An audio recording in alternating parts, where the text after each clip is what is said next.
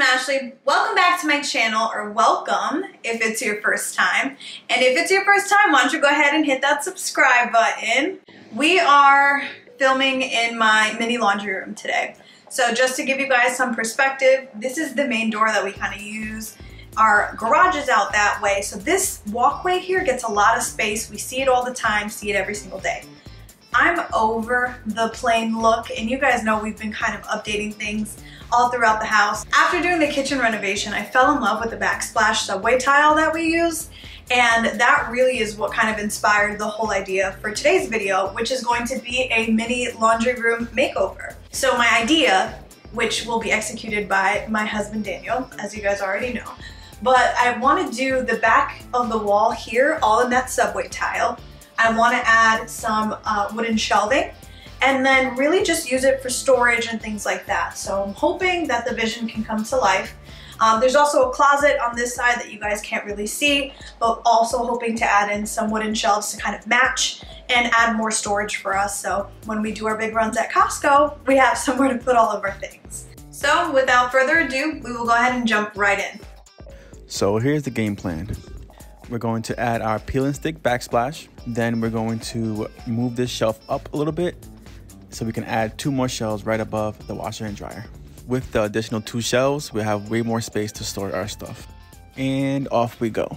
We're going to start off with cutting our wood for our shelves. I bought some 2x4s at Home Depot and I had some leftover plywood from when we did our grid mirror video.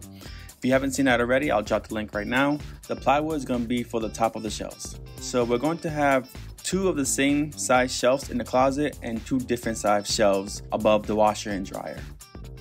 After we finish cutting, we're gonna do a little bit of sanding. And yes, this is me in real time. To achieve the stain that we wanted, we ended up combining weathered oak and special walnut. After some trial and error and a little bit of luck, we found the ratio that we loved. It actually complemented our backsplash perfectly and it was a go. I wanted to keep the shelf simple, uh, but also strong enough to hold our detergents, our bleach, our softeners, anything extra we get from you know Costco's or BJ's. I decided to make some pocket holes so that way I can hide the screws. So the 2x4s that I put pocket holes are the two sides and then the one in the middle. Assembling the shelf was pretty simple. You know, you have your front, you have your back, you have your two sides, and then I had one supporting 2x4 in the middle.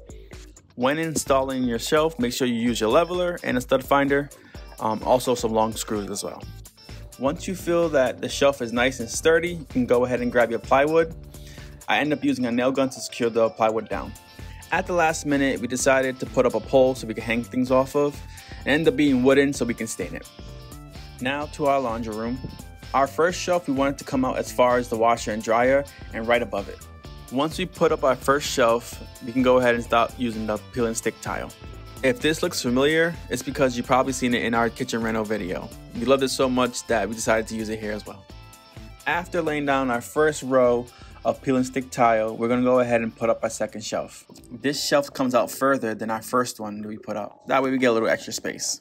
Once that second shelf is secured, we can go ahead and continue to lay down our peel and stick tile. The good thing about the peel and stick tile is that it's really sticky.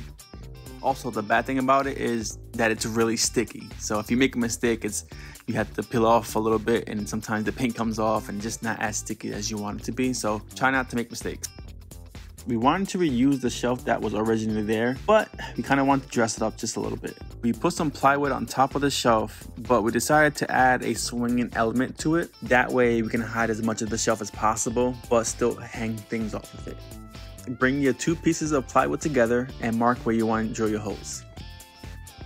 I found some hinges at Home Depot and I had some nuts and bolts previously from another project. I installed three hinges two on the ends and one in the middle, so that way it give nice balance. And this is how it will look when it's all said and done. So with the swing, it gives me access to hang things if I need to, and if not, I can just hide it. No laundry room is complete without a sign that's saying laundry.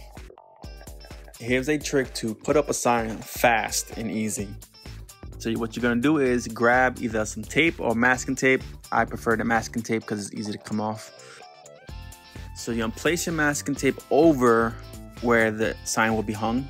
You're gonna mark where the screw or nail is gonna be placed on the wall. Once you mark those, you can peel the tape off. You have a perfect measurement. Just make sure that you use a leveler when you're placing on the wall so that way it's even when you hang it up.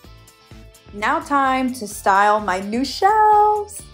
As mentioned, we are both avid shoppers at Costco and BJ's. Yes, we have both. Do not judge. So we really are just now going to stock the shelves with a bunch of stuff that we had in the closet. I got these baskets at Big Lots. I loved that they came with a few different sizes and the style definitely matched with this little theme that we have going on. While I didn't go super crazy finding new containers for everything that I had, I did pick a few. I went to Home Goods and I got these glass containers to put some of our detergent in, so we did decide to swap out some of those boxes. Overall, I am in love with how this turned out. I think for me, a DIY is perfect when style can meet functionality somewhere in the middle. Um, this is gonna work perfect for us and give us so much more space as we prepare for baby.